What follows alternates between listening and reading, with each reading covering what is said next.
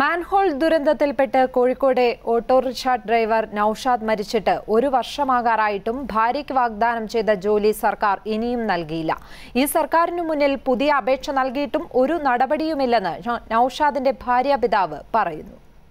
Manhole വൃത്തിയാക്കാൻ ഇറങ്ങിയ ഇതര സംസ്ഥാന തൊഴിലാളികളെ രക്ഷിക്കാനുള്ള ശ്രമത്തിനിടെ കഴിഞ്ഞ നവംബർ ഇരുപത്തിയാറിനാണ് നൌഷാദിന് ജീവൻ നഷ്ടപ്പെട്ടത്.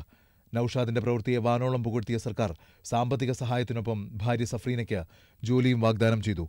വാഗ്ദാനത്തിനപ്പുറം കഴിഞ്ഞ സർക്കാരിന്റെ ഭാഗത്തുനിന്ന് ഒരു നടപടിയും പിന്നീടുണ്ടായില്ല.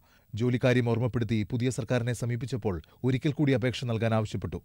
അപേക്ഷയും അനുബന്ധ രേഖകളും സമർപ്പിച്ച് മാസങ്ങളായിട്ടും സഫ്രീനയ്ക്ക് ജോലി കിട്ടിയിട്ടില്ല. കുടുംബം പുലർത്താൻ അച്ഛൻ ഹംസക്കോയ ഇന്നും കോഴിക്കോട് ചന്തയിൽ ചുമടെടുക്കുന്നു. ജോലി കിട്ടിയ എന്റെ മകളുടെ മാനസിക നില വളരെ മോശമാണ് ഇപ്പോൾ കാരണം ഏത് സമയത്തും ദുഃഖത്തിലാണ്. ജോലി ഇപ്പോൾ ജസ്റ്റ് ഒന്ന് പുറത്തിറങ്ങി കഴിഞ്ഞാൽ എല്ലാവരുമായിട്ട് ബന്ധപ്പെട്ട് ഒരു മാനസിക നില വീണ്ടെടുക്കുക അതാണ് എന്റെ ഏറ്റവും വലിയ പ്രതീക്ഷ. സഫ്രീനെ അടങ്ങുന്ന അഞ്ചംഗ കുടുംബത്തെ തന്റെ വരുമാനം കൊണ്ട് മാത്രം പോറ്റാനാവില്ലെന്ന് ഹംസക്കോയ പറയുന്നു. ഈ സാഹചര്യത്തിൽ മകൾക്ക് ഒരു ജോലി ലഭിച്ചാൽ അത് ഏറെ ആശ്വാസമാകും.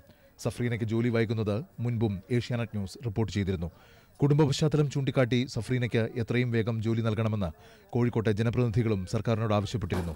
വലിയ വേദനയിൽ കഴിയുന്ന കുടുംബത്തോട് പക്ഷേ സർക്കാർ ഇനിയും കനിഞ്ഞിട്ടില്ല. ഏഷ്യാനെറ്റ് ന്യൂസ് കോഴിക്കോട്.